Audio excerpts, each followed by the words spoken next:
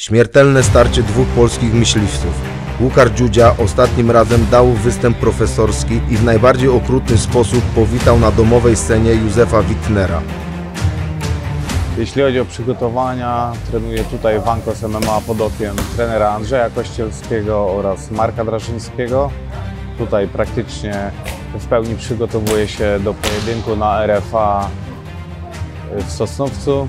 Nie pozwolił elitarnemu słowackiemu zawodnikowi nic zrobić i odniósł dominujące zwycięstwo na punkt. Ja, tak i Adrian będziemy świetnie przygotowani i to będzie naprawdę walka wieczoru i sądzę, że będzie ogłoszona mianem walki wieczoru, bo obydwoje jesteśmy mega doświadczeni i bardzo mocno się przygotowujemy do tego pojedynku. Teraz przed nimi stoi kolejne duże wyzwanie w postaci Adriana Dudka, który większość swoich zwycięstw osiągnął przez nokaut. Moją największą motywacją jest moja rodzina, która mnie wspiera, moi znajomi i sam dla siebie też jestem motywacją dla, dla innych i myślę, że to jest największe, największa motywacja ze wszystkich.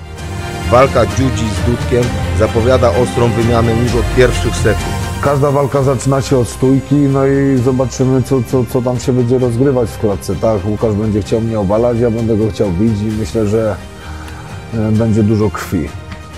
Czy Dziudzia znów będzie świętować na ziemi RFA, czy też rodak przygotuje dla niego niemiłą niespodziankę? Odpowiedź poznamy 25 maja na gali RFA kontra ZHS w Sosnowcu.